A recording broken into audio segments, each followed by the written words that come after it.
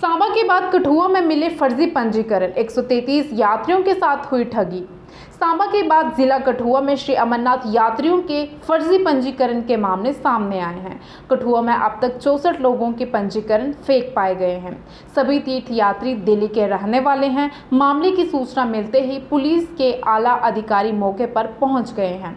वहीं सुरक्षा एजेंसियाँ भी सत्ते में आ गई हैं। उन्होंने भी अपने स्तर पर मामले की जाँच शुरू कर दी है।